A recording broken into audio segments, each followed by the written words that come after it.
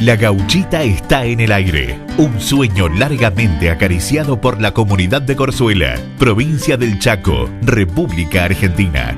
La importancia de la radio comunitaria viene a quebrar el aislamiento geográfico de la región para convertirse en la voz de los que no la tienen, en la voz de la familia, de los niños. La gauchita será sin dudas un punto de encuentro en el horizonte de los jóvenes que sueñan y en nuestros mayores como sostén emocional en las comunidades del mundo.